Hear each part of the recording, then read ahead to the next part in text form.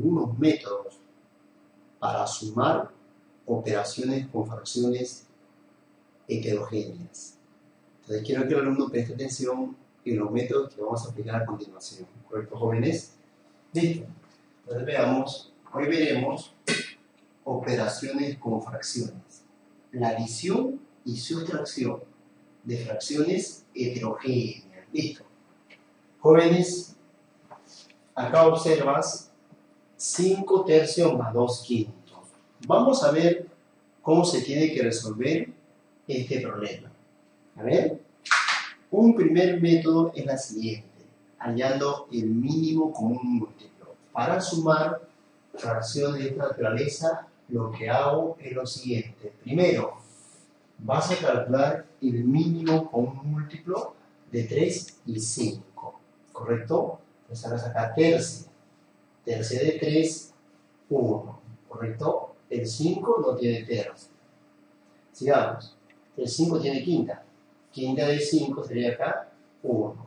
El 1 se mantiene igual. Señores, conclusión. Hallando el mínimo común múltiplo, el mínimo común múltiplo, entonces nos resulta el mínimo de 3 y 5, de 3 y 5 nos resulta 3 por 5. Es decir, 3 por 5 igual a 15. Eso es lo que obtenemos. Segundo paso, este mínimo 15 lo vamos a colocar acá en el denominador. Entonces el alumno va a colocar aquí el mínimo 15. A continuación, este 15 jóvenes se divide entre 3. 15 entre 3, 5. Y por 5, 25. Así es, más, en forma análoga, divides 15 entre 5. 15 entre 5, 3. Y por 2 sería acá 6. Jóvenes, entonces el alumno suma con mucho cuidado. Acá vamos a obtener 25 más 6, 31. ¿Entre cuánto? Entre 15. Por lo tanto, jóvenes, por lo tanto, la suma de 5 tercios más 2 quintos me resulta 31 quinceavos. Por lo tanto, voy a decir acá, por lo tanto, por lo tanto, jóvenes, decimos 5 tercios, 5 tercios, más 2 quintos, más 2 quintos, nos va a resultar 31 quinceavos, 31 quinceavos. No es de esa manera entonces podemos resolver un problema de esta naturaleza. ¿Correcto? Listo. Vayamos a un ejemplo ahora, la suma de tres fracciones. En forma similar, hacemos lo mismo. Lo primero que vamos a hacer es hallar el mínimo de 3, 4 y 6. Agarro mi reglita y voy a hallar el mínimo con un múltiplo. Mínimo de 3, 4 y 6. Sacamos mitad, mitad. Mitad de 6, 3, listo mitad de 4, 2.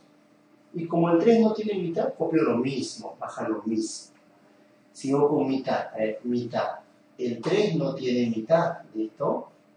El 2 sí tiene mitad, mitad de 2, 1. Y acá continúa el 3, así es. Continuamos. Nos damos cuenta que se puede una tercia.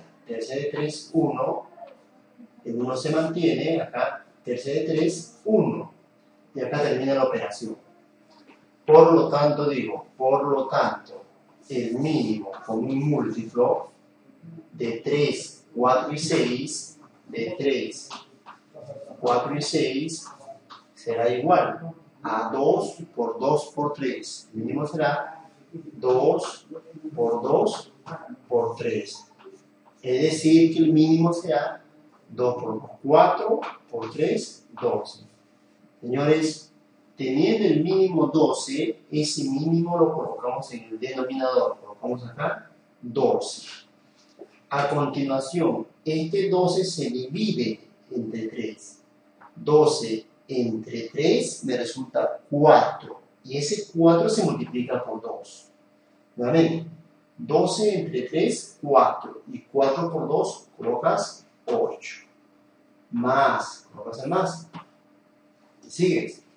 A ver, 12 entre 4, 3. Y por 1 tienes acá 3. Repito, 12 entre 4, 3. Y 3 por 1, 3. Más, vamos a coger más. 12 entre 6, 2. Y 2 por 5, 10. Así es. Jóvenes, ahora vamos a realizar una operación algebraica en la parte superior. 8 más 3, 11. Y 11 más 10, 21. Acá obtenemos 21. ¿Entre cuántos jóvenes? Entre 2. ¿Correcto? A ver. 8 más 3, 11. 11 más 10, 21. 21 entre 2. Eso resulta la suma. Pero podemos simplificar. Si te das cuenta, 21 y 12 ambos tienen tercia. Podemos simplificar sacando tercia ambos. Podemos simplificar. Tercia de 21, 7. Tercia de 12 obtienes cuánto? 4.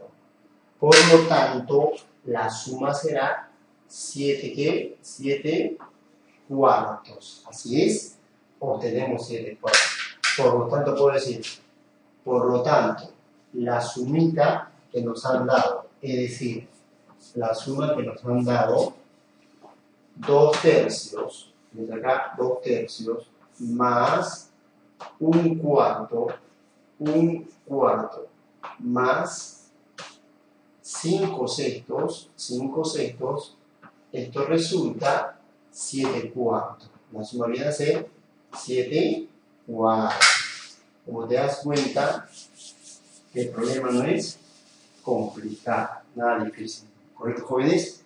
Es el método práctico para sumar fracciones. Vayamos a un último caso. A ver, para operar, lo que tengo que hacer primero es hallar el mínimo con un múltiplo. Con mucho cuidado. Mínimo de 4, 2 y 5. Sacamos mitad. Mitad de 4, 2, así es.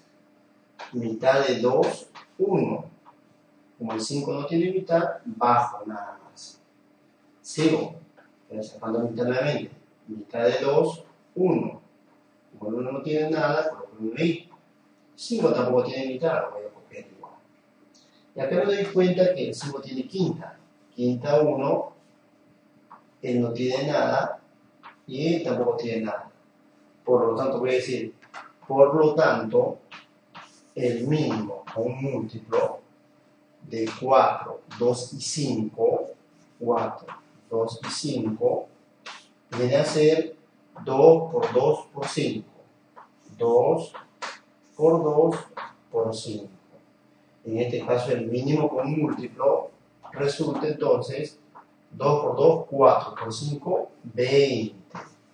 Como el alumno tiene 20 como mínimo, este 20 se coloca en el denominador a 20 y realizo la siguiente operación. 20 entre 4, 5 y por 1 obtienes 5. Repito, 20 entre 4, 5 y 5 por 1, 5. Se coloca el más y hago la misma operación. 20 entre 2, 10 y 10 por 3, 30. Así es, menos 20 entre 5, 4. Y 4 por 1, 4. Y eso tenemos que operarlo. A ver, 5 más 30, 35. 35 menos 4, 31. Me queda 31 y aquel 20. Es decir, obtengo 31 veinteavos. Por lo tanto, por lo tanto, voy a decir lo siguiente. Por lo tanto, podemos decir lo siguiente.